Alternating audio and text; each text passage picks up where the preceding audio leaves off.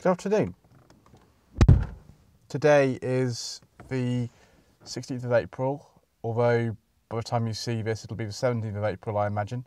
Um, I'm actually in uh, in Norwich today.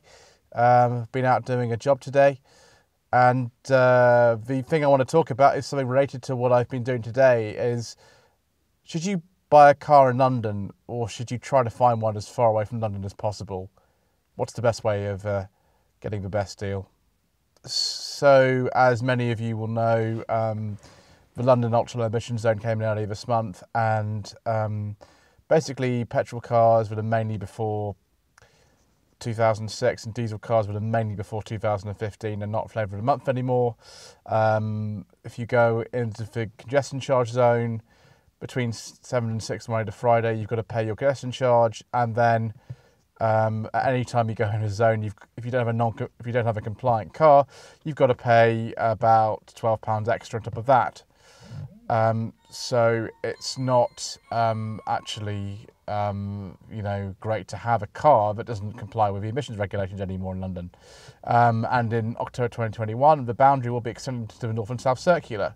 So as you can imagine, um, petrol cars that are mainly before 2006, although some um, Euro 4 compliant cars were made before then, and diesel cars before September 2015, although some Euro 6 diesels were made before then as well. Um, they don't tend to be worth very much in London at the moment. Conversely, if you've got a car, um, say like the one that you know I've been sourcing today, which was um, a 2011 petrol car, um, then um, that um, is absolutely fine for London, um, all future proofed, and um, the prices in London tend to be a little bit higher. Um, out here in, in, in, Norfolk, we don't have anything like that at the moment in Norwich, although who knows, somebody might introduce that in a few years. Um, but for now, you know, people don't really care about that kind of thing. Um, so prices of those sort of cars are a little, probably a little bit lower but of course prices of uh, you know diesel cars um, are sort of higher. So you know it, it, really depends on the sort of car that you want. Mind you, the other thing about buying a car um, out of a big city is that the price much might be higher anyway because there are fewer around.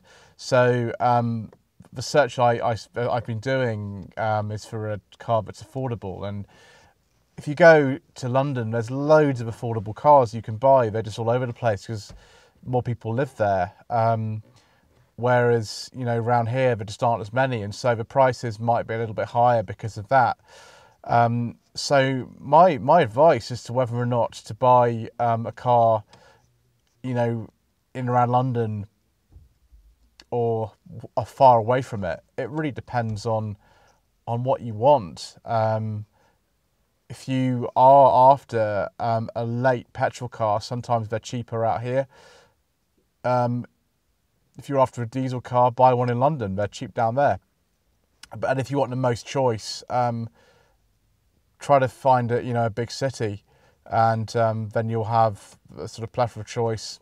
Possibly the prices are a bit higher in types of car. I, I don't know, but certainly if you you know are someone near the M25, then you'll be you know, sport for choice. Just hope you found that video useful. Um, sorry I can't be too specific about it because it really does depend on a vast number of factors and how far you're wanting to drive as well. Um, don't forget to subscribe to the channel. Don't forget to leave a like. Don't forget to leave a comment below. Um, my website is www.lloydvehicleconsulting.co.uk. Um, and please use the contact me page to get in touch. My Facebook page is facebook.com forward slash Lloyd Vehicle Consulting.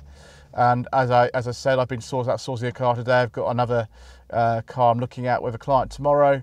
So I am on the road on all sorts of places um, looking for cars, and I'd love to do that for you. My general guide is to say that I source a car from anywhere between eight hundred and thirty thousand pounds.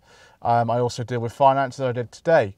Um, so please do get in touch if that's something that you're interested in. Thank you ever so much indeed for watching.